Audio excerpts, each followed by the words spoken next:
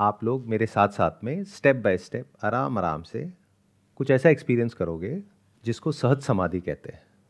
उसी को निर्विकल्प समाधि भी कहते हैं। इस वर्ड को अच्छे से समझ लो, समाधि। धी मतलब बुद्धि। सम मतलब जहाँ पर बुद्धि के करने के लिए कुछ भी नहीं रह गया है। ध्यान से अगर ऑब्ज़र्व करोगे अपनी ब्रेन को तो आपकी बुद्धि हमेशा एक्टिवेटेड होती है। और हर मोमेंट में कुछ ना कुछ जज करने की कोशिश कर रही होती है, कोई ना कोई डिसीज़न लेने की कोशिश कर रही होती है, कुछ ना कुछ बोलने की कोशिश कर रही होती है, कुछ ना कुछ सोचने की कोशिश कर रही होती है।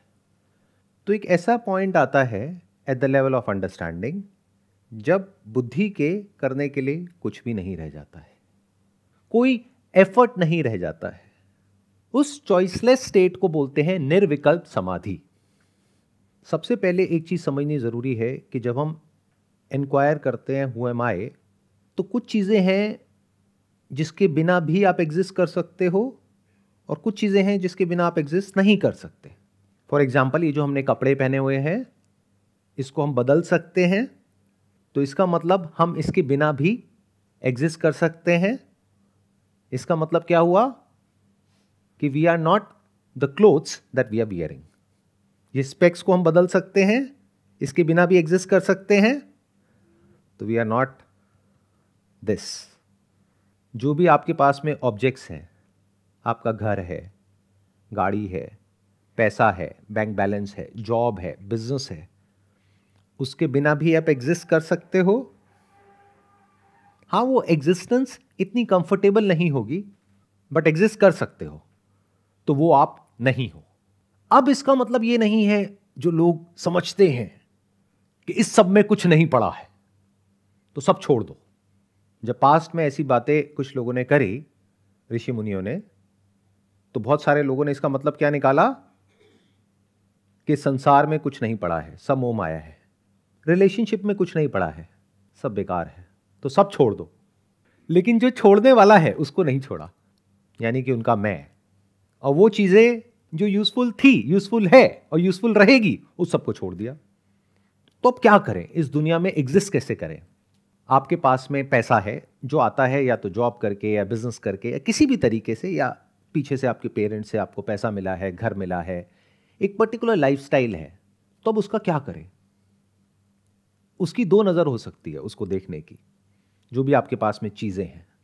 एक, कि आप उसके मालिक हो। You are the owner of that दूसरा you are the caretaker of that देखने में ये डिफरेंस बहुत छोटा लग रहा होगा, लेकिन ये बहुत बड़ा डिफरेंस है। रिलेशनशिप में आपके पास में दो नज़र है देखने की। एक, कि जो भी लोग आपके साथ में रिलेशनशिप में हैं, मान लो आपके बच्चे हैं तो आप उनको इस तरीके से देख सकते हो कि ये मेरे बच्चे हैं। यानी आपका उनके ऊपर हक है और आप उनसे जो चाहे वो करवा सकते हो। ये हो गया ओनरशिप माइंडसेट दूसरा क्या हो सकता है? केयर टेकर माइंडसेट जैसे शर्ट मैंने पहनी है, एक तरीका ये है, मैं कहूँ, इस शर्ट से एनलाइटनमेंट का कोई कनेक्शन नहीं है। छोड़ो, इस शर्ट का क्या करना है? कपड़ों का क्या करना है? तो माइंडसेट क्या होना चाहिए हमारा? बजाय इस शर्ट के मालिक बनने के, इस शर्ट के केयर टेकर बन जाओ। ये शूज़ मुझे हेल्प कर रहे हैं। मेरे पैरों को बचा करके रख रहे हैं। जूते, चप्पल whatever it is let me take care of it ये पेड़ पौधे मुझे हेल्प कर रहे हैं। Let me take care of it जो मेरे बच्चे हैं, वो मुझे हेल्प कर रहे हैं अपनी ही अलग अलग डायमेंशंस को डिस्कवर करने में। मेरे अंदर जो फीलिंग्स हैं इमोशंस हैं, ऐसी जो मुझे पता भी नहीं है, वो मेरे सामने आ रही है। किसकी वजह से? उन बच्चों की वजह से। let me take care of them. Let me take care of my wife. Let me take care of my parents. Let me take care of the money in my bank account. Let me take care of my job, my business. Let me take care of my body. Because if I don't take care of my body, I'll not be eligible to listen to what I am saying or other people are saying. आप सुन ही नहीं पाओगे तो अगर ज़्यादा indulge हो गए इस दुनिया में तो भी नहीं सुन पाओगे, या पढ़ पाओगे, या समझ पाओगे। और अगर आपने बिल्कुल ही नेगेट कर दिया इस दुनिया को, तब बाहर से तो आप नेगेट कर दोगे, लेकिन अंदर 24 घंटे उसकी क्रेविंग आपको तंग करेगी। तो सोल्यूशन क्या है?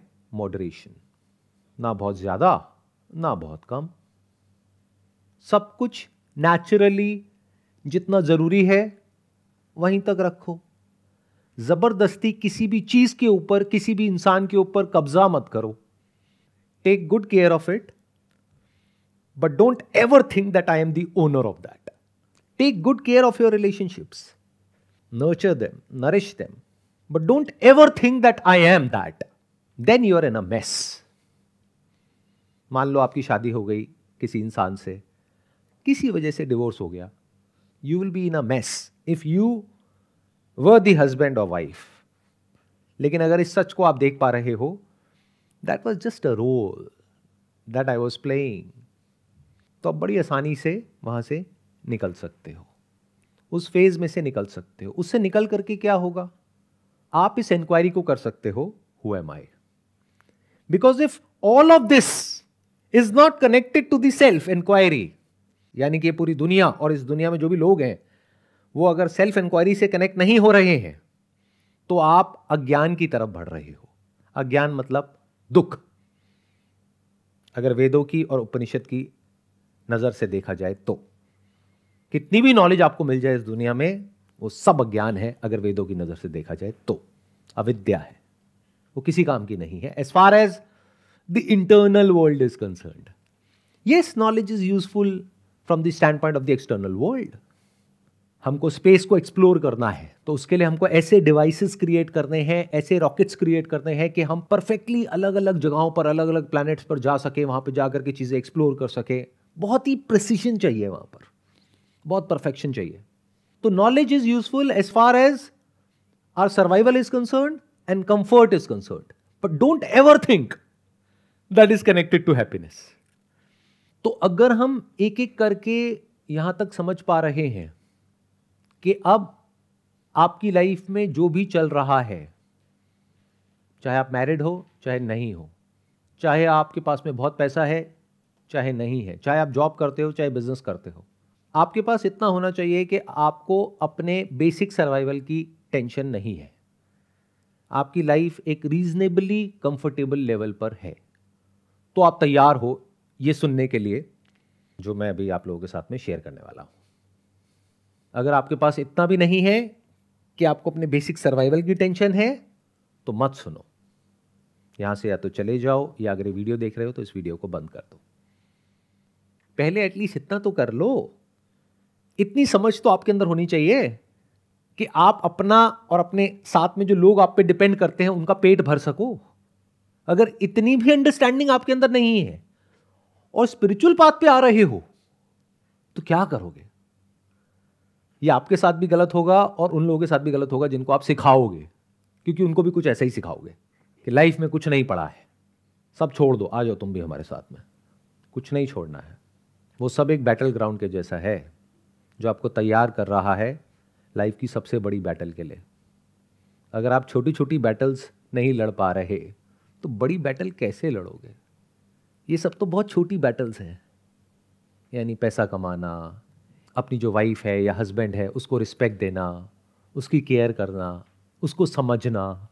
अगर आप इतना ही नहीं समझ पा रहे हो कि पैसा कैसे कमाना है तो ये कैसे समझोगे हुआ यू ये समझने के लिए तो you need to have such a mind जो सीधा देख सके। घुमा फिरा करके नहीं। जो जैसा है उसको वैसा देख सके। जिस माइंड में मैनुपुलेशन नाम की कोई चीज़ ना हो। जो कभी किसी को डिसीव ना करता हो, ना खुद को, ना किसी और को तो ये सच्चाई का पाथ है, सत्य का पाथ है। इस पे चलने के लिए you need to be absolutely straightforward जो है, जैसा है, उसको वैसा ही देख लेना है। जो समझ आया है, नहीं आया है, उसको एज इट इज़ देख लेना है। तो as far as this world is concern तो आपकी बुद्धि को, उस सब का जवाब मिल गया है, अगर आपने ध्यान से सुना है तो।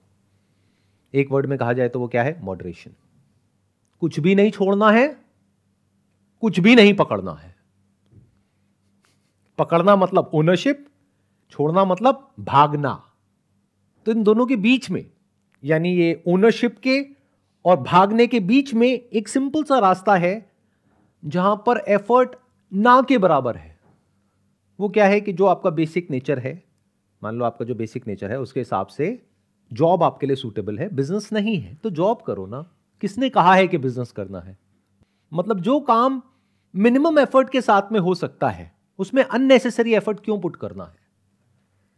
इतनी समझदारी आपके अंदर होनी चाहिए। बजाय औरों को देख करके अपने आसपास में उनके जैसा बनने के चक्कर में अगर आप फंसे हुए हो तो अभी आप एलिजिबल नहीं हो नेक्स्ट स्टेप पे जाने के लिए, यानी कि ये सुनने के लिए जो मैं बोल रहा हूँ, या जो भी स्क्रिप्चर्स में लिखा हुआ है। क्यों? क्योंकि अभी आपको ये गलत फहमी है कि मेरे पास में कम है, उसके पास में ज़्यादा है, अगर मेरे पास में ज़्यादा आ गया तो पता नहीं क्या हो जाएगा। तो आप इतना तक नहीं देख पा रहे कि उसकी लाइफ में ऐसा कुछ भी नहीं है जो आपकी लाइफ से अलग हो, fundamentally. Superficially yes there is a difference आपके पास में छोटी गाड़ी है, उसके पास में बड़ी गाड़ी है। आपके पास में छोटा घर है, उसके पास में बड़ा घर है।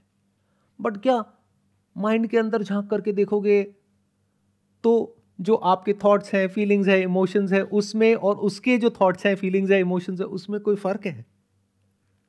It is not similar it is same you need to have such an intelligence कि आप इस सच को देख सको।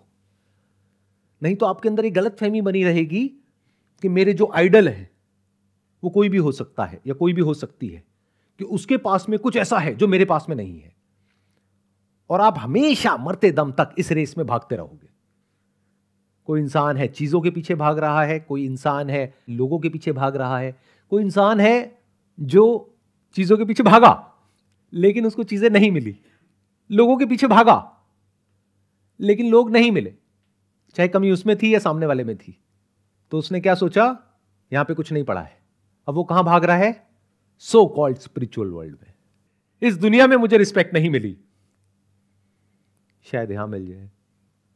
तो ये एक नई रेस शुरू हो जाती है। सुख चाहिए था, खुशियाँ चाहिए थी इस दुनिया में, नहीं मिली, अब कहाँ मिलेगी? स्पिरिचुअल वर्ल्ड में मिलेगी। कैसे मिलेगी? मेडिटेशन करके मिलेगी। कैसे मिलेगी? ये करके मिलेगी।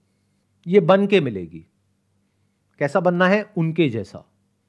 कौन? वो जो यहाँ पर बैठे हैं। उनमें कुछ खास है और मुझमें नहीं है। अगर कोई ऐसा कह रहा है तो वो आपको बेवकूफ़ बना रहा है। जो भी यहाँ पर बैठा है और जो वहाँ पर बैठे हैं, उनमें कोई फ़र्क नहीं है।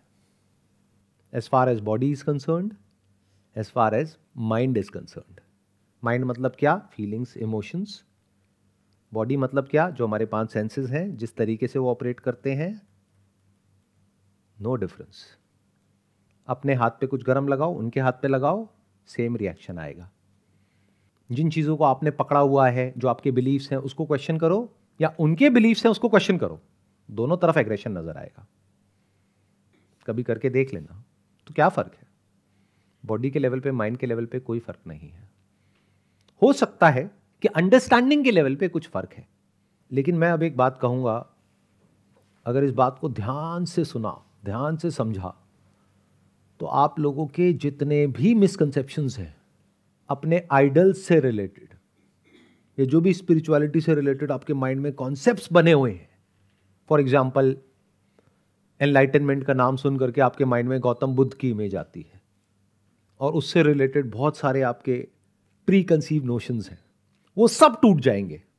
अगले एक मिनट के अंदर अंदर अगर मेरी इस बात को ध्यान से सुन लिया तो। मैंने अभी क्या कहा? बॉडी के लेवल पे कोई फ़र्क नहीं है। माइंड के लेवल पे कोई फ़र्क नहीं है। समझ के लेवल पर फ़र्क है। बट समझ के लेवल पे जो फ़र्क होता है, उसकी वजह से ज़रूरी नहीं है कि माइंड के लेवल पे और बॉडी के लेवल पे भी फ़र्क आए। ध्यान से सुनना। एक डॉक्टर है जो कैंसर को क्योर करता है। उसको पता है स्मोकिंग की वजह से कैंसर होता है। वो ऐसे पेशेंट्स को सुबह से रात तक ट्रीट कर रहा है। उसको थियोरटिकली सब कुछ पता है। उसकी आँखों के सामने है कि इसकी वजह से कितना दर्द होता है। लेकिन वो खुद सिगरेट पीता है। एक बच्चा जो पंद्रह सोलह साल का है, वो सिगरेट पी रहा है, समझ आता है। क्योंकि उसको पता ही नहीं है कि इसकी वजह से क्या होने वाला है। अगले दस साल बाद, बीस साल बाद। बट उस डॉक्टर को थियोरटिकली भी सब कुछ पता है, जो उसने पाँच दस साल में सीखा। प्रैक्टिकली भी सब कुछ उसके सामने है।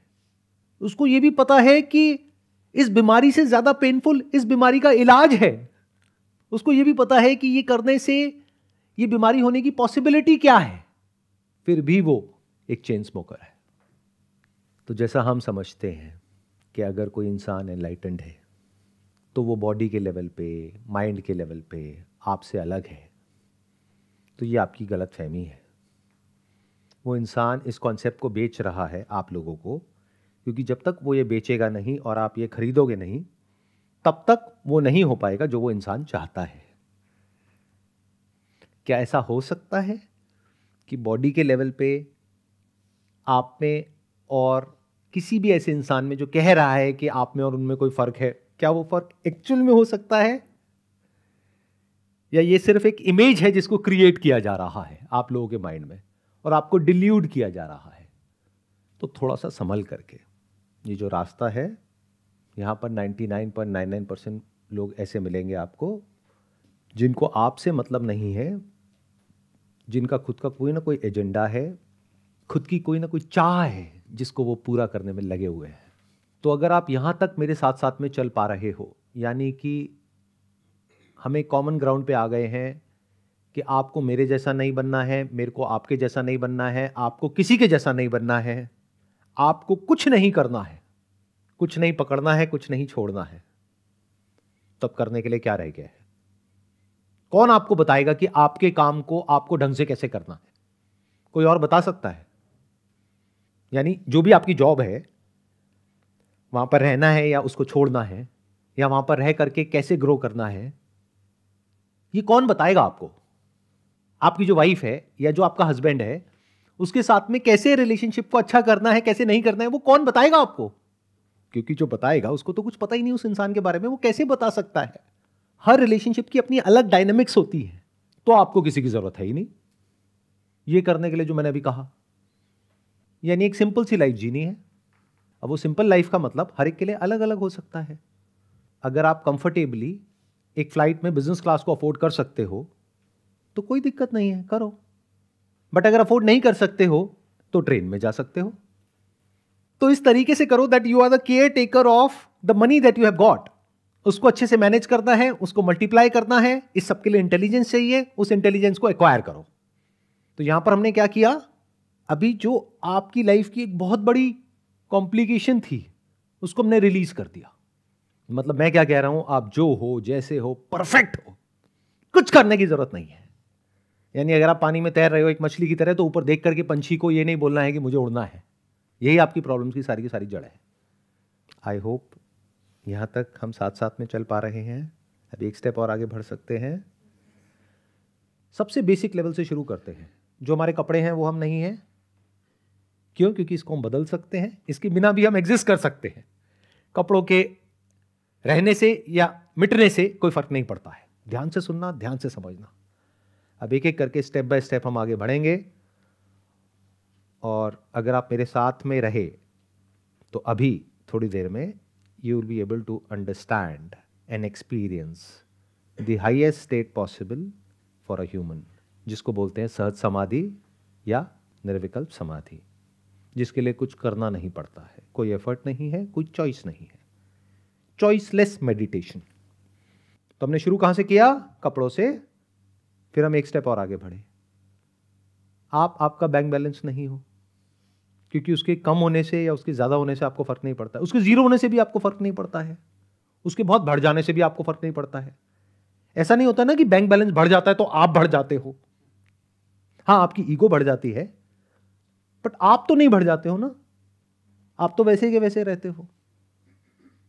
तो you are not your bank balance and whatever the objects are which is connected to your bank balance that is money वो क्या है? गाड़ी, घर. You are not your house you are not your car but at the same time you are a caretaker very important to understand you are not your relationships you are not a husband और wife क्योंकि husband पैदा होता है कब? जब शादी होती है। वाइफ कब पैदा होती है? जब शादी होती है। तो हस्बैंड और वाइफ में एक्चुअल में कोई बड़ा छोटा नहीं होता है। दोनों की एज हमेशा सेम होती है। दोनों एक साथ में एक ही दिन, एक ही टाइम पे पैदा होते हैं। आदमी और औरत अलग अलग दिन पैदा होते हैं। बट जो हस्बैंड और वाइफ है, वो एक साथ, एक ही टाइम पे, एक ही जगह पर, एक साथ में पैदा होते हैं। तो दोनों एज में बराबर हैं। तो अगर कभी कोई आ करके आपको ये बोलता है कि मैं तेरे से एज में बड़ा हूँ तो उसको ये वीडियो दिखाना। वो गलत कह रहा है या गलत कह रही है। हस्बैंड और वाइफ की एज हमेशा सेम होती है। पाँच साल हो गए शादी को, दोनों पाँच साल के बच्चे हैं। तभी आप देखोगे जो सबसे ज़्यादा जो लड़ाइयाँ होती हैं शादी में, वो टीनेज के टाइम पे होती है। फिर एक स्टेज ऐसी आ जाती है जब वो दोनों मेच्योर हो जाते हैं। फिर फ़र्क ही नहीं पड़ता है। कुछ भी बोलते रहो। तो जब मैं कह रहा हूँ कि आप हस्बैंड नहीं हो वाइफ नहीं हो, क्यों कह रहा हूँ? क्योंकि अगर आपका डिवोर्स हो जाता है तो वो हस्बैंड कहाँ चला जाता है? वाइफ कहाँ चली जाती है? और मान लो डिवोर्स के बाद में कहीं और किसी और से शादी हो जाती है। तो now your husband number two या वाइफ नंबर टू ये बातें सुनने में छोटी लग रही हैं। बट अभी हम जैसे से आगे बढ़ेंगे, आपको इसकी सिग्निफिकेंस समझ आएगी। क्योंकि अगर ये नहीं समझ आ पा रहा है, ये बहुत बेसिक लेवल की बातें हैं। तो आगे जो मैं बोलने वाला हूँ, वो नहीं समझ आएगा। ये क्लियर है? You are not a husband और अ वाइफ और any of the roles that you are playing that is an employee अगर आप बोलते हो, मैं एक एम्प्लॉई हूँ, मैं अगला क्वेश्चन आपसे ये पूछूँगा employee of what you working in which company आप कहोगे, इस कंपनी में. रिलेशनल हो गया तो रिलेटिव हो गया बट अगर उस कंपनी को आपने बदल दिया या अपना कुछ खुद शुरू कर दिया तो एम्प्लॉय कहाँ गया? वो कहीं था ही नहीं। That was just a name given to the role that you were playing जैसे स्टेज के ऊपर जो प्लेज होते हैं या मूवीज़ में हम देखते हैं कि वो लोग अलग अलग कैरेक्टर्स को प्ले करते हैं। तो एक रोल है जिसको आप प्ले कर रहे हो। तो आप आपके सारे रोल से लिबरेट हो गए। जितने भी लेबल्स आपके ऊपर लगे हुए हैं, उस सबसे लिबरेट हो गए। तो जब इस बाहर की दुनिया में जो भी रोल्स आप प्ले कर रहे हो in relation to a person और अ सिचुएशन और एन ऑब्जेक्ट इन सारे रोल्स को आप अपने से अलग करके देख सकते हो और आप कह सकते हो कि ये रोल्स को कभी भी बदला जा सकता है, ये बदलते ही रहते हैं, इसलिए मैं ये नहीं हूँ। तो आप अगले स्टेप पे जाने के लिए तैयार हो। अब अगला स्टेप आता है ये बॉडी इसको इंक्वायर करते हैं। Are you your body are you your gender आज साइंस ने इतनी तरक्की कर ली है कि जेंडर को बदला जा सकता है। मेल को फीमेल बनाया जा सकता है, फीमेल को मेल बनाया जा सकता है। ये बात अगर मैं आज से हज़ारों साल पहले किसी के साथ में करता तो उसको समझ नहीं आती। ये कैसे हो सकता है? आज तो हो रहा है। तो you are not your gender because it can be changed as simple as that that which you can change that which is in time that is not you अगर कुछ ऐसा है इस दुनिया में जिसके बिना भी आप एग्जिस्ट कर सकते हो, वो आप नहीं हो। और अगर कुछ ऐसा है जिसके बिना आप एग्जिस्ट नहीं कर सकते हो, वो ही आप हो। स्क्रिप्चर्स उसके बारे में बात करते हैं। तो यहाँ पर एक बहुत बड़ा कॉन्ट्रोडिक्शन आ जाता है। स्क्रिप्चर में कुछ और लिखा होता है, उसको हम इंटरप्रेट करते हैं अपने तरीके से। हमारा तरीका क्या है लाइफ को देखने का? मैं ये हूँ। क्वेश्चन करो, ये क्या है? अभी हमने जेंडर को क्वेश्चन किया। अब हम क्वेश्चन करते हैं पाँच सेंसेस को। You are not your nose you are not your sense of smell उसको बदला जा सकता है। ऑपरेशन करो सेंस ऑफ़ स्मेल गायब। ऑपरेशन करो सेंस ऑफ़ स्मेल को बढ़ाया जा सकता है, कम किया जा सकता है। उसमें चेंजेस किए जा सकते हैं। बाहर की दुनिया में समझ आ गया कि जो भी आपके लेबल्स हैं, वो बाहर की चीज़ों से कैसे कनेक्टेड है? Husband is connected to wife तो ये क्या हो गया? रिलेटिव हो गया? If you say I am rich that is connected to what money कल पैसा नहीं है तो? यू आर पुअर फिर पैसा आ गया तो? रिच तो ये सब क्या हो गया? रिलेटिव हो गया? अब ध्यान से सुनना, ध्यान से समझना। अब हम थोड़ा आगे जा रहे हैं।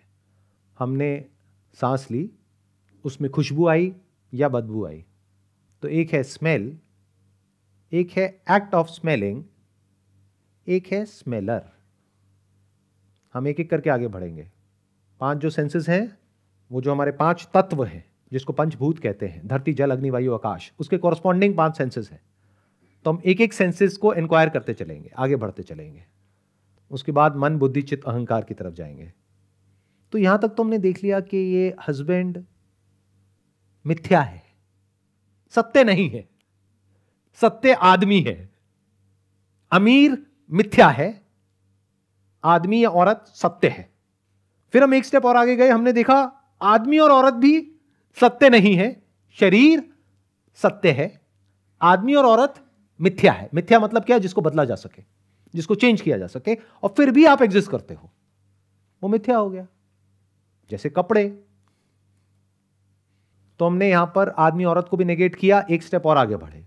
जो आदमी औरत दोनों में कॉमन है, वो क्या है? Sense of smell that is corresponding to धरती। तो जब हमको कोई अच्छी स्मेल आती है तो हम खुश हो जाते हैं। बुरी स्मेल आती है तो परेशान हो जाते हैं। तो जैसे ही वो स्मेल आती है तो there is a smell which is a sense object there is smelling and there is smeller जैसे there is thought there is thinking there is thinker अब इसको ध्यान से देखो, क्या ये जो स्मेलर है इसका अपने आप में कोई सेपरेट एग्जिस्टेंस है? आई यू द स्मेलर जैसे हमने हस्बैंड वाइफ के केस में देखा, अमीर गरीब के केस में देखा जेंडर के केस में देखा, और स्मेल के केस में देखो। आर यू द स्मेलर अगर स्मेल तो आए बट उसको कोई इंटरप्रेट ना करे कि ये अच्छी है, बुरी है तो क्या कोई स्मेलर है? तो जो सब्जेक्ट है और ऑब्जेक्ट है, उसमें कोई सेपरेशन नहीं है। ये सेपरेशन कब पैदा होता है? जब थॉट बीच में इंटरफेयर करता है। थॉट उस स्मेल को आइडेंटिफाई करता है। आइडेंटिफाई करके उसको कैटेगराइज किया जाता है। उस पर ठप्पा लगाया जाता है कि ये गुलाब की स्मेल है, यानी कि अच्छी है। ये इसकी स्मेल है, यानी कि बुरी है। So this smeller is nothing but a thought जो मेमोरी पे टिका हुआ है। मेमोरी को हटा दो देर इज़ नो स्मेलर जैसे एक हॉस्पिटल है जहाँ पर चार न्यूबॉर्न बेबीज हैं। वहाँ पर हमने एक स्मेल को पुश किया, जो खुशबू है, और एक तरफ़ से पुश किया, जो बदबू है। जैसे ही उस खुशबू को हमने वहाँ पर छोड़ा, वो जो चार न्यूबॉर्न बेबीज हैं, उनका कोई रिएक्शन नहीं आया। स्मेल है, और अगर ब्रेथ चल रही है तो स्मेलिंग भी है but there is no smeller there is no thinker वो अभी पैदा ही नहीं हुआ है। This is a state of pure consciousness जहाँ पर जो सब्जेक्ट है और ऑब्जेक्ट है, उसमें कोई सेपरेशन नहीं है। प्लस एक और भी पॉइंट है यहाँ पर बहुत बड़ा, कि जो सेंस ऑफ़ स्मेल है, इसको भी कंट्रोल किया जा सकता है, इसको भी चेंज किया जा सकता है। उसके बाद भी आप एग्जिस्ट करते हो। In relation to your other senses तो जिसके बिना भी आप एग्जिस्ट कर सकते हो तो वो आप नहीं हो। तो you are not your sense of smell क्या इसका मतलब यह है कि हम नाक को काट करके फेंक दे कहीं? We have to take good care of that but we are not that दोनों में बड़ा फ़र्क है। जैसे आपकी गाड़ी है, जो आपको हेल्प करती है एक जगह से दूसरी जगह पर जाने के लिए। और अब आप कह रहे हो कि ये गाड़ी मैं हूँ। अभी हमारी ये हालत है। अगर बॉडी के एग्ज़ाम्पल से समझा जाए तो। दूसरा है कि नहीं नहीं, मैं ये गाड़ी तो नहीं हूँ, लेकिन ये गाड़ी मेरी है। तीसरा हो सकता है जिसकी मैं बात कर रहा हूँ कि ना मैं ये गाड़ी हूँ, ना मेरी ये गाड़ी है, लेकिन ये मुझे हेल्प कर रही है तो I take care of that I am a caretaker ऐसे ही you are not your sense of smell क्यों? क्योंकि जब सेंस ऑफ़ स्मेल नहीं भी होता है, तब भी आप होते हो। ऐसा तो नहीं है ना 24 घंटे आपको सूंघते रहना पड़ेगा, तभी आप एग्जिस्ट कर पाओगे। तो आपकी एग्जिस्टेंस सेंस ऑफ़ स्मेल पे तो डिपेंड नहीं करती। तो you not your sense of smell धरती, जल टेस्ट बहुत बार ऐसा होता है कि हमें कोई बीमारी होती है और हमारा सेंस ऑफ़ टेस्ट चला जाता है कुछ दिन के लिए। तो क्या आप मर जाते हो? या आप एग्जिस्ट करते हो उसके बाद भी? तो इससे हमें क्या समझ आया? You are not your sense of taste. And there is no separate taster. There is taste. There is tasting. But there is no taster. जैसे चार बच्चे हैं और अभी न्यू बॉर्न है तो उनकी चारों की ब्रेस्ट फीडिंग चल रही है जो उनकी मदर है वो उनको ब्रेस्ट फ़ीड कर रही है तो वहाँ पर मिल्क है टेस्ट है टेस्टिंग है हंगर भी सेटिस्फाई हो रही है, लेकिन उन चारों में कोई सेपरेशन नहीं है। यह कहना गलत नहीं होगा कि चारों का एक्सपीरियंस सेम है, चारों का रिएक्शन सेम है। जैसे हमने स्मेल के वक्त देखा था कि स्मेल चाहे अच्छी हो, चाहे बुरी हो, चारों का रिएक्शन सेम है। तो चारों की कॉन्शियसनेस सेम है। तो क्या बचपन में सेम होती है जब कोई न्यूबॉर्न होता है और बड़े होकर के अलग अलग हो जाती है? या जब हम बड़े होते हैं तो we acquire a lot of experiences lot of knowledge lot of name given to those experiences जिसको इंफॉर्मेशन बोलते हैं और उसकी वजह से हमें लगने लग जाता है कि मैं इससे अलग हूँ। क्यों? क्योंकि मेरा रिएक्शन इसके रिएक्शन से अलग है। फॉर एग्ज़ाम्पल एक पर्टिकुलर फ्लावर आप सबको अगर सूंघने के लिए दिया जाएगा तो सबका रिएक्शन अलग अलग होगा। कोई बहुत खुश हो जाएगा उसको सूंघ करके, कोई कहेगा हाँ ठीक है। कोई हो सकता है कहेगा, नहीं, मेरे को इससे एलर्जी है। तो आप क्या कहोगे? देखो, मैं उससे अलग हूँ। मेरी अपनी एक सेपरेट आइडेंटिटी है। मेरा अपना एक सेपरेट एग्जिस्टेंस है। क्या है ये मैं? अगर एक थॉट नहीं है तो। जो मेमोरी पे टिका है उस मेमोरी को निकाल दो। कहाँ है आपका वो मैं? दिस इज़ रियल इंक्वायरी जो मैं बोलता हूँ अपने सेशंस में हु एम आई हम एक एक करके नेगेट करते चले जा रहे हैं। इसको नेति नेति बोलते हैं। ये नहीं ये नहीं ये नहीं ये नहीं। आगे एक ऐसा पॉइंट आएगा जहाँ पर जा करके आप चाहो भी तो उसको नेगेट नहीं कर सकते। धरती, जल, अग्नि यानी कि sense of sight there is seen there is seeing and seer आँखों से जो भी कुछ दिखता है अच्छा या बुरा, क्या उससे आँखों को कोई फ़र्क पड़ता है? ध्यान से सुनना, ध्यान से समझना। अगर आँखों से आपने कुछ बहुत अच्छा देख लिया, कोई बहुत ही अच्छा नज़ारा है तो क्या उससे आपकी आँखें अच्छी हो जाती हैं? कुछ बहुत बुरा देख लिया तो क्या आँखें खराब हो जाती है? तो eyes are just like mirror जिसको कोई फ़र्क नहीं पड़ता कि उसके ऊपर किसकी रिफ्लेक्शन है। तो सीन क्या है? ऑब्जेक्ट जो इल्यूमिन किससे हो रहा है? लाइट से। लाइट ना हो तो चाहे आँख खुली रखो, चाहे बंद रखो। कुछ नहीं दिखता है। बट आप कह सकते हो कुछ नहीं दिखता है इन रिलेशन टू जो आपने पास्ट में देखा। जब आप कहते हो आँख खोल करके या आँख बंद करके कि मुझे कुछ नहीं दिख रहा है, ये वो ही इंसान बोल सकता है जिसने पास्ट में कभी कुछ देखा हो। उसको याद करके आप बोल रहे हो कि मुझे अभी कुछ नहीं दिख रहा है, अभी यहाँ पर लाइट नहीं है। You are talking about the absence of an object which is illumined by light और the absence of light in relation to the prior experience of the presence of light और objects illumined by light Without that experience, without that memory, you cannot talk about the absence. जब आप silence के बारे में बात करते हो तो वॉट यूर डूइंग इज़ कि आपने साउंड की मेमोरी को याद किया कि अच्छा साउंड मतलब ऐसा तो ऐसा कुछ नहीं है तो अभी साइलेंस है। तो सीन क्या है? यानी कि ये जो हमें दिखता है वो क्यों दिखता है? कोई भी ऑब्जेक्ट दिखता है कोई भी फॉर्म दिखती है वो क्यों दिखती है? आँखों की वजह से। क्या सिर्फ़ आँखों का होना काफ़ी है? लाइट भी होनी चाहिए। क्या सिर्फ़ लाइट का होना काफ़ी है? कोई ऑब्जेक्ट भी होना चाहिए। ये ट्रिनिटी है। ये तीन है यहाँ पर। ध्यान से देखो ट्रायंगल बन रहा है। लाइट तो हो, आँखें तो हो बट कोई फॉर्म ना हो जहाँ से कि लाइट रिफ्लेक्ट कर सके या रिफ्रैक्ट कर सके। तो लाइट नहीं दिखती है। लाइट होती है, लेकिन लाइट दिखती नहीं है। आँखें खुली होती हैं, लेकिन कुछ दिखता नहीं है। तो कुछ भी दिखने के लिए एक फॉर्म होनी चाहिए, जिस फॉर्म के थ्रू या तो लाइट पास हो, या जिस पर टकरा करके वो लाइट हम तक आए, तब कुछ दिखता है। यानी कि हम सीन को क्वेश्चन नहीं कर सकते। बट ये हमें समझ आ रहा है कि seen is relative we can only talk about the seen in relation to light as well as eyes आँखें जो कि एक ऐसा इंस्ट्रूमेंट है जो एक पर्टिकुलर वेवलेंथ को देख सकती है।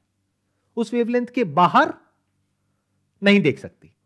यानी अल्ट्रावायलेट को और इंफ्रारेड को नहीं देख सकती। आँखें। तो ये क्या हो गया? रिलेटिव हो गया। But you are not your eyes if I am saying that उसका प्रूफ क्या है? कि आप वो जो आँखें नहीं देख सकती, यानी इंफ्रारेड और अल्ट्रावायलेट उसको भी आज की डेट में आप साइंटिफिकली देख सकते हो। तो आँखों की जो लिमिटेशन है, उसके बियॉन्ड आप चले गए। उसको आप ट्रांसेंड कर गए। थ्रू एन इंस्ट्रूमेंट उसको भी आपने कैप्चर कर लिया। उसको भी अपने एक्सपीरियंस में ले आए। That means you are not just your eyes you should take care of your eyes but you are not your eyes eyes की पावर को बढ़ाया भी जा सकता है और कम भी किया जा सकता है। ये चश्मा यही तो कर रहा है। आगे माइक्रोस्कोप लगा दो, टेलीस्कोप लगा दो, या और तरह के इंस्ट्रूमेंट्स लगा दो। तो जो लिमिटेशन है, वो आँखों की है, आपकी नहीं है। You superimpose the limitation of the sense object और the object on your self which is an error यानी ये जो आपकी बॉडी है, इसकी अपनी कुछ लिमिटेशंस है। तो अगर आप ये कहते हो कि ये बॉडी की लिमिटेशन है, वहाँ तक तो ठीक है। बॉडी खूबसूरत है बॉडी बदसूरत है, वहाँ तक तो ठीक है। मैं खूबसूरत हूँ, मैं बदसूरत हूँ, गड़बड़ हो गई। अब आपका सुख और आपका दुख किससे कनेक्ट हो गया? बॉडी से, जिसको बड़े आसानी से बदला जा सकता है। अगर बदलना ज़रूरी लग रहा है तो। इसलिए नहीं कि सोसाइटी ने एक पर्टिकुलर तरह की कंडीशनिंग हम सबकी कर दी है कि अच्छी बॉडी का मतलब ये। जानवरों में तो ऐसा नहीं होता है। जानवरों में तो फिटनेस की डेफिनेशन बहुत अलग है। मैंने ऐसे कोई जानवर नहीं देखे जिनके एप्स बने हुए हों। Eight pack six pack I never seen such an animal और वो फिट होते हैं। कोई बीमारी नहीं है, कोई डॉक्टर तक नहीं है उनके पास में। तो ये जो आँखों की लिमिटेशन है, उसको हम अपनी लिमिटेशन समझ बैठते हैं। तो आँखों के होने या ना होने से लाइफ की जो यूजफुलनेस है, उसमें तो फ़र्क पड़ेगा। आपके वे ऑफ़ लिविंग में फ़र्क पड़ेगा।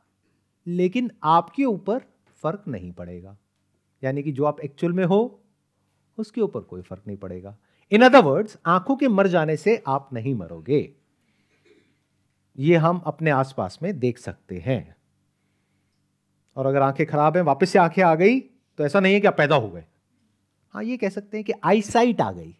साइट नहीं आई है। साइट तो पहले भी थी। वो साइट जिसको कॉन्शियसनेस बोलते हैं, जो कानों के थ्रू साउंड को परसीव कर रही थी। आँखों में प्रॉब्लम थी। आप में प्रॉब्लम नहीं थी। अब एक स्टेप और आगे बढ़ते हैं। वायु, यानी कि जो सेंसेशंस होती हैं। कुछ टच होता है तो हमको पता लगता है। कुछ गर्म टच होता है तो पता लगता है। कुछ ठंडा टच होता है तो पता लगता है। ये ब्रेथ है, ये हमें फील होती है। और बॉडी में कई तरह की सेंसेशंस होती हैं जिसके बारे में हमको पता लगता है। कई तरह की मेडिटेशन प्रैक्टिसेस हैं जो ब्रेथ से लिंक्ड हैं। उसके पीछे एक रीज़न है, क्योंकि ब्रेथ की कोई फॉर्म नहीं है। इसलिए जब आपका ध्यान ब्रेथ पर जाता है तो there is a strong possibility कि अगर आप सिंसियरली अपना ध्यान ब्रेथ पर लगाते हैं तो आपके माइंड में कुछ बोलने के लिए नहीं होगा, यानी कि थॉट नहीं होगा। लेकिन कब तक के लिए?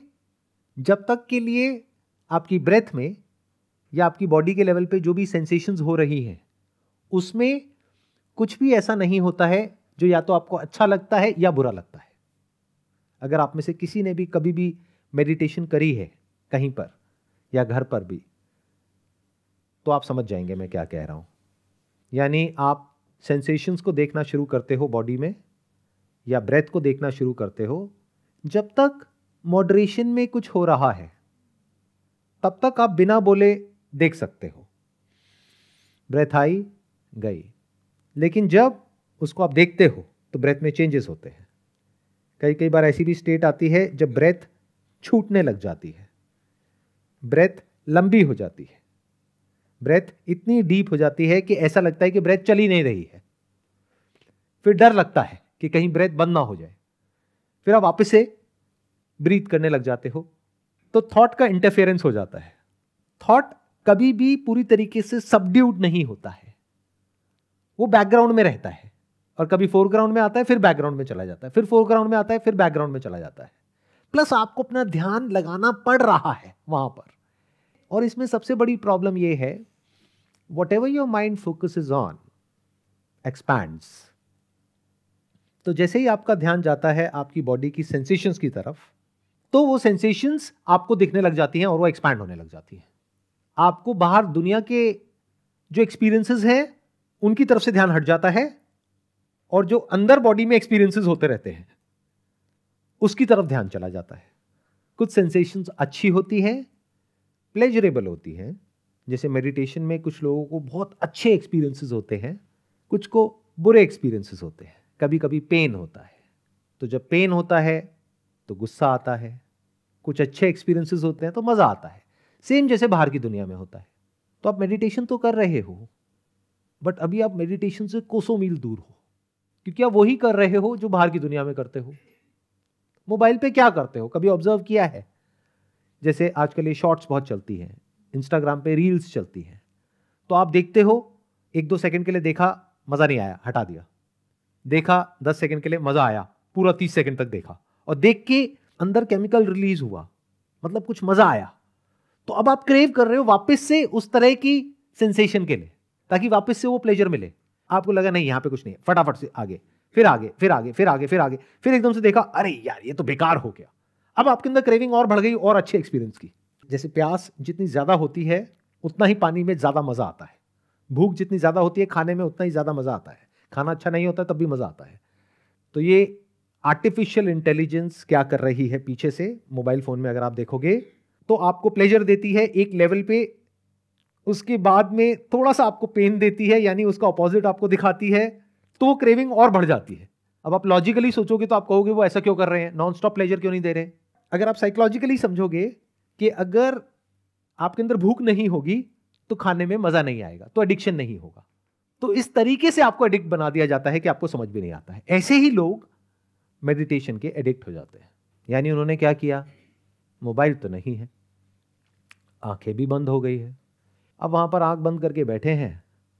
तरह तरह के अंदर एक्सपीरियंसेस हो रहे हैं। कभी कोई केमिकल रिएक्शन हो रहा है, उसमें मान लो यहाँ पे लाइट दिख गई। कभी थोड़ी देर के लिए जो थॉट है वो एकदम से सबसाइड हो गया। कभी कभी ऐसा होगा कि थॉट रिजॉल्व हो जाएगा तो आपको बहुत अच्छा फील होगा। अब वापस से आप उसके लिए क्रेव करोगे। जैसे ही क्रेव करोगे, वापस से सफरिंग शुरू हो गई। फिर एक दो घंटे बाद फिर कोई एक्सपीरियंस हो गया। फिर कुछ और हो गया, फिर कुछ और हो गया। और आप यही कर रहे हो। दस, बीस साल से, तीस साल से, और लोगों को लग रहा है कि पता नहीं कितने बड़े मेडिटेटर हो आप। एक्चुअल में क्या किया आपने?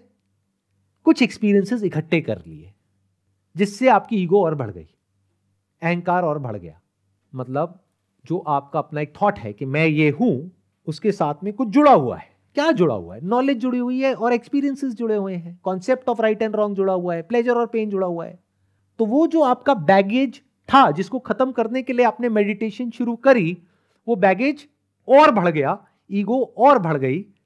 क्यों? क्योंकि अब आपने एक डिवीज़न क्रिएट किया अपने माइंड में कि मैं स्पिरिचुअल पाथ पे हूँ, मैं मेडिटेशन कर रहा हूँ, और मेरे को इतने तरह के एक्सपीरियंसेस हो रहे हैं, इनको तो कुछ पता ही नहीं है। तो मैं ज्ञानी हूँ, ये अज्ञानी है। तो गए थे अपना अहंकार खत्म करने और अहंकार बढ़ा करके आ गए। तो अब हम अपनी इंक्वायरी पे वापस से आते हैं और डीपली देखते हैं। Because this is the subtlest of all experiences तो इसको देखने के लिए आपकी कैसी नज़र होनी चाहिए विच इज़ एक्सट्रीमली सटल तब आप देख पाओगे जो मैं अब बोलने वाला हूँ उसको। जब आप अपनी किसी सेंसेशन को देखते हो, चाहे वो ब्रेथ हो, चाहे बॉडी में कोई सेंसेशन हो, कुछ भी हो तो वहाँ पर तीन चीज़ें होती हैं। एक होता है एक्सपीरियंस्ड यानी जिसको आप एक्सपीरियंस कर रहे हो सेंसेशन को। एक है एक्सपीरियंसिंग एक है एक्सपीरियंसर ये बहुत आगे की इंक्वायरी है, आराम से, ठंडे दिमाग से। स्टेप बाय स्टेप चलना, तब आप देख पाओगे इस सच को। इसको तीन कैटेगरीज में डिवाइड कर सकते हैं आपको एक एक्सपीरियंस हुआ, लेकिन उस एक्सपीरियंस की वजह से बायोलॉजिकली या साइकोलॉजिकली कोई रिएक्शन नहीं आया। तो क्या हुआ? यहाँ पर अभी हज़ारों तरह की साउंड्स हैं। उन सब में से आप मेरी साउंड सुन रहे हो। बाकी साउंड्स का क्या हुआ? अगर उन साउंड्स को आपने सुना ही नहीं तो लिसनर कहाँ है? तो वहाँ पर कोई भी सेपरेशन नहीं होता है। जैसा गहरी नींद में होता है, या छोटे बच्चों के केस में होता है। बहुत तरह की आवाज़ें आती हैं, चली जाती हैं। बच्चों की तरफ़ से कोई रिएक्शन नहीं आता है। बट एकदम से कोई तेज आवाज़ हो जाए बच्चे के कान के पास में तो बच्चे का एकदम से रिएक्शन आएगा। This is not psychological this is biological तो अब देखते हैं मैं कब पैदा होता है और कैसे पैदा होता है। जैसे मैंने एग्ज़ाम्पल दिया उस बच्चे का कि उसके पास से कुछ ऐसी साउंड हो जहाँ से कोई रिएक्शन ट्रिगर ना हो बायोलॉजिकली तो साउंड का होना या ना होना बराबर। लेकिन अगर वो साउंड ऐसी है, जिसकी वजह से कोई पॉजिटिव या नेगेटिव आउटकम जुड़ा हुआ है तो रिएक्शन आ जाएगा। जैसे बच्चे को भूख है, अब उसको अपनी माँ की आवाज़ सुनाई दी तो एक पॉजिटिव रिएक्शन आएगा उस बच्चे की तरफ़ से। वो बच्चा रो रहा है, लेकिन आपको लग रहा है वो परेशान है, जबकि वो खुश है, क्योंकि उसको पता है रोने से वो हो जाएगा जो वो चाहता है। तो that is a positive reaction but दूसरी तरफ़ से कोई आवाज़ है जो उसको डिस्टर्ब करती है, जिसके साथ में कोई आउटकम रिलेटेड नहीं है, लेकिन बायोलॉजिकली एक रिस्पॉन्स आ रहा है कि एकदम से तेज एक आवाज़ हुई, उस आवाज़ की वजह से पूरी की पूरी जो हमारी बॉडी है, वो डिस्टर्ब हुई, उसको एक डेंजर फील हुआ। जैसे आप अपनी छत पे ले जा करके एक छोटा सा कोई बम फोड़ दो तो आसपास में जो कबूतर होंगे वो सब उड़ जाएँगे। तो ये क्या है? बायोलॉजिकल रिस्पॉन्स वो सोच करके नहीं कर रहे हैं।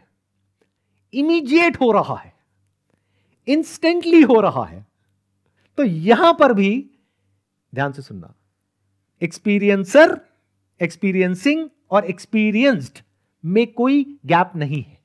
In fact there is no experiencer एक सेंसेशन हुई, एक सेंस ऑब्जेक्ट का परसेप्शन हुआ इमीडिएट रिएक्शन आया।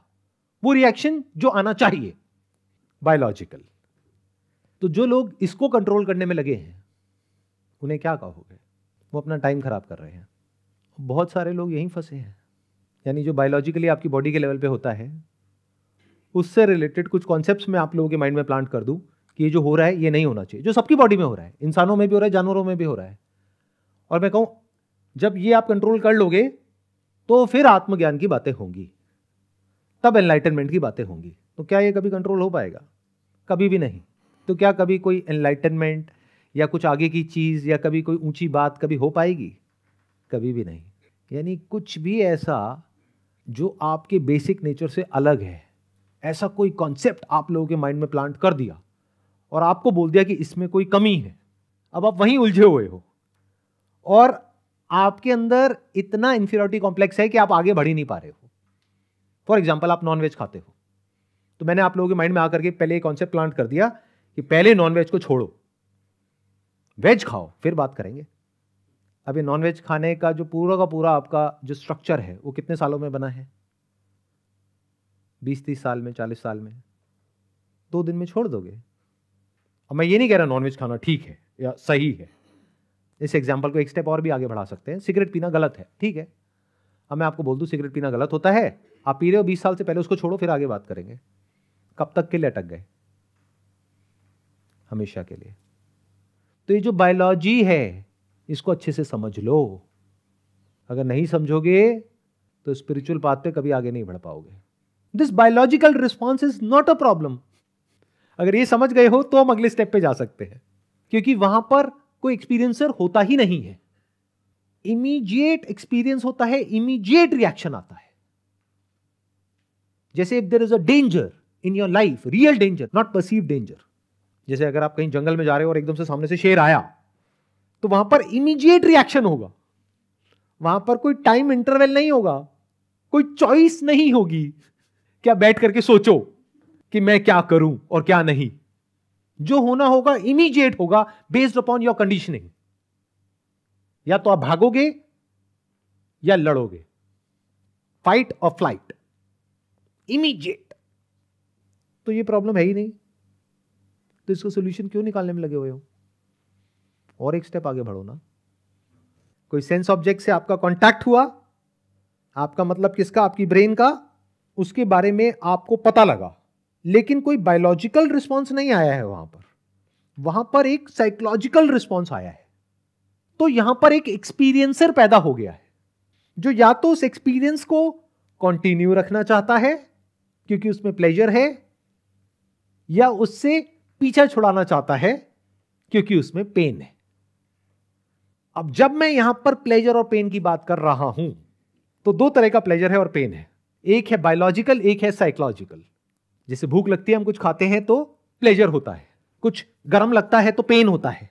इन अदर वर्ड्स यहाँ पर एक टच हुआ और आपको उस टच के बारे में पता लगा, जिसके बेस पर अंदर आपने कुछ बोला।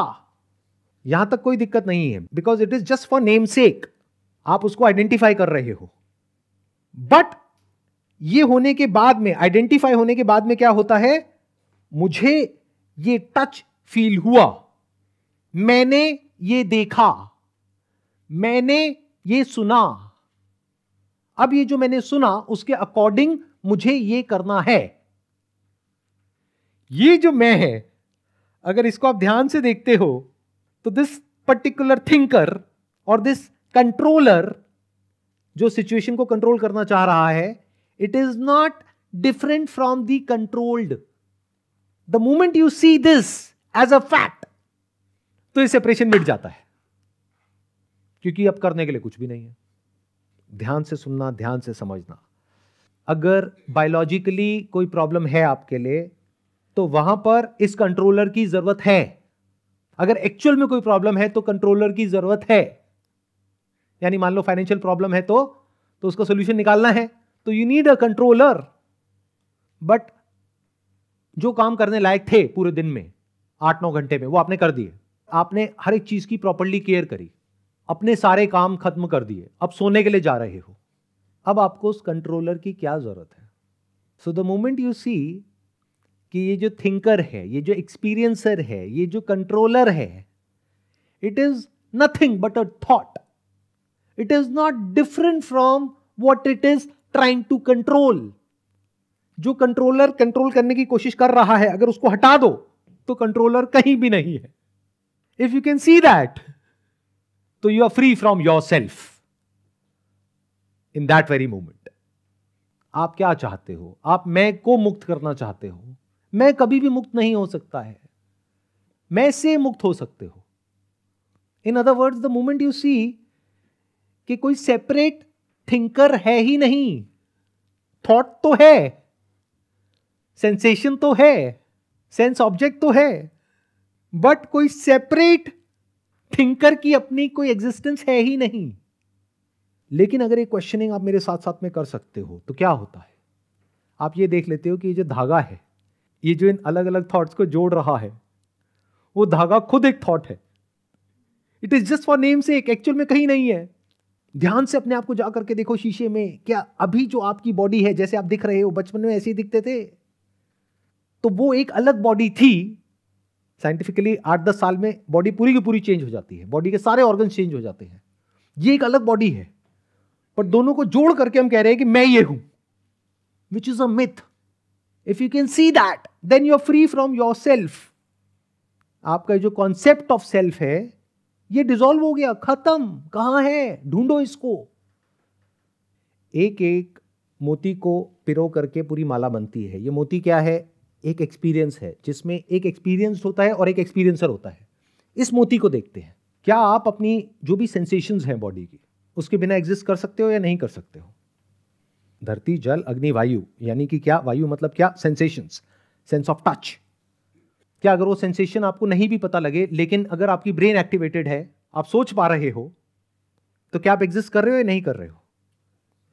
You are definitely existing that means you can exist without your sensations if your memory is activated तो you are not your sensations अब एक स्टेप और आगे बढ़ जाते हैं. धरती, जल, अग्नि, वायु, आकाश, यानी कि सेंस ऑफ़ हियरिंग अब हियरिंग दो तरीके की है. एक है जो कान खोल करके हम सुनते हैं, एक जो हम कान बंद करके सुनते हैं। तो जो कान खोल करके सुनते हैं, वो साउंड हो या ना हो, उससे आपके होने या ना होने पे कोई फ़र्क पड़ता है। कान हो या ना हो, उसके होने या ना होने से कोई फ़र्क पड़ता है। तो आप हो क्या? कहीं ऐसा तो नहीं है कि इस सबको मिला करके जो बनता है वही आप हो? यानी कि जो भी आपको एक्सपीरियंसेस हुए और उससे रिलेटेड जो नॉलेज पड़ी है, जो थॉट्स हैं फीलिंग्स हैं इमोशंस हैं I you a bundle of that क्या वही हो? क्योंकि अगर उसको हटा दो तो क्या बचेगा? कुछ भी नहीं। एम्प्टीनेस एक वॉइड है। तो लोग यहीं पर जाकर के अटक जाते हैं। बहुत सारे लोग पास में जिन्होंने इंक्वायरी करी, वो बस यहाँ पर जाकर के अटक गए। और उन्होंने इसको कोई नाम दे दिया कि मैं ये भी नहीं हूँ, मैं ये भी नहीं हूँ, मैं ये भी नहीं हूँ, मैं ये भी नहीं हूँ। उनसे पूछो अच्छा फिर तुम क्या हो? वहाँ पर जाकर के चुप हो गए। अब जो चुप हुए, उसमें से कुछ लोग ऐसे थे जिन्होंने कुछ ऐसा देख लिया जिसके बारे में कुछ कहा नहीं जा सकता, इसलिए चुप हो गए। बहुत सारे इसलिए चुप हो गए क्योंकि उनको कुछ दिखा ही नहीं। वो अपने थॉट्स में उलझे रह गए। पाँचों सेंसेस को हमने देख लिया, दुनिया को देख लिया, सब कुछ देख लिया। एंड में क्या बचा रह जाता है? जिसके बेस पर आप कह सकते हो कि मैं हूँ। सीधा उसको क्वेश्चन करते हैं और सिर्फ़ क्वेश्चन नहीं करेंगे एक्सपीरियंशियली अभी देखेंगे। अगर आप कानों को भी हटा दो, आँखों को भी हटा दो हटा दो मतलब कि आप ध्यान हटा लो। सेंसेशंस पे से ध्यान हटा लो। स्मेल पे से ध्यान हटा लो टेस्ट पे से ध्यान हटा लो, आँखों पे से ध्यान हटा लो, आँखों के थ्रू जो दिखता है वहाँ से ध्यान हटा लो, यानी आँखें बंद कर लो। जो भी सेंसेशंस हो रही हैं बॉडी में, फिर चाहे ब्रेथ से रिलेटेड टच पता लग रहा है, चाहे कोई गर्म लग रहा है, ठंडा लग रहा है, कोई सटल सेंसेशन है, कोई ग्रॉस है, वहाँ से ध्यान हटा लो। जो भी बाहर से आवाज़ें आ रही है, वहाँ से ध्यान हटा लो। करो मेरे साथ साथ में, आँखें बंद करो। अब अगर आपने सब जगह से ध्यान हटा लिया, तब भी आप तो हो ना। आपके होने के लिए, इस सब के होने या ना होने से कोई फ़र्क नहीं पड़ता है। हाँ इस सब चीज़ों की अपनी अपनी यूटिलिटी है यूजफुलनेस है बट आपके एग्जिस्टेंस पर उसका कोई फ़र्क नहीं पड़ता है। अब इस मोमेंट में जब आपने अपना ध्यान सब जगह से हटा लिया तो अब आप देखो आप अपने अंदर ही अंदर अपने आप को क्या बोल रहे हो।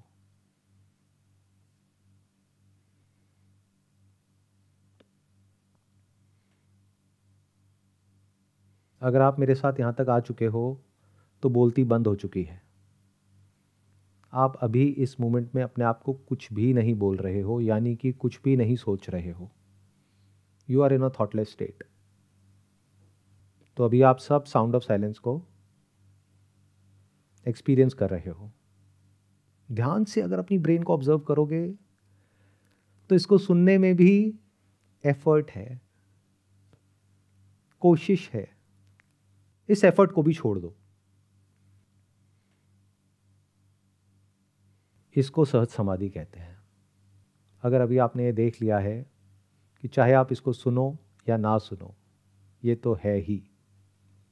और सिर्फ़ वो नहीं है जिसको आप सुन रहे हो। यानी कि experienced experiencing is also spontaneous इस स्टेट में कोई डिफरेंस नहीं है सुनने वाले में और जिसको सुना जा रहा है उसमें। इसके बीच में कोई गैप नहीं है। यानी सुनने वाले के बीच में और जिसको सुना जा रहा है उसके बीच में। कोई डिवीज़न नहीं है। अब आप वापस से एफर्ट करो इसको सुनने का या ना सुनने का। ये जो एफर्ट है, ये अहंकार है। या ईगो। जो आपको लगता है कि मैं ये हूँ। बट इस मैं की अपनी कोई एग्जिस्टेंस नहीं है। आपके चाहने या ना चाहने से कुछ नहीं होने वाला यहाँ पर। आप चाहे चाहो या ना चाहो, सुनना चल रहा है। आपके चाहने या ना चाहने से साउंड ऑफ़ साइलेंस के होने या ना होने पर कोई फ़र्क नहीं पड़ता है। दिस इज़ प्योर कॉन्शियसनेस जहाँ पर लिसनिंग तो है, लेकिन लिसनर नहीं है। जहाँ पर सब्जेक्ट और ऑब्जेक्ट में कोई डिवीज़न नहीं है, कोई सेपरेशन नहीं है। ये स्टेट आपकी और मेरी या हमारी अलग अलग नहीं है। इस जगह पर कोई मैं और तू नहीं है, कोई आत्मा और परमात्मा नहीं है। पास प्रेजेंट फ्यूचर उसमें भी कोई फ़र्क नहीं है। किसी भी तरह की कोई स्पेस नहीं है इन दोनों के बीच में। इस जगह पर आपका जो भी एफर्ट है वो किसी काम का नहीं है। इसीलिए इसको एफर्टलेस समाधि बोलते हैं। यहाँ पर आपके पास में कोई चॉइस नहीं है। ना आपके करने से कुछ फ़र्क पड़ने वाला है, ना ना करने से। ये तो है ही। और आप भी हो ही। बिना किसी एफर्ट के। इसको बोलते हैं निर्विकल्प समाधि। सहज समाधि।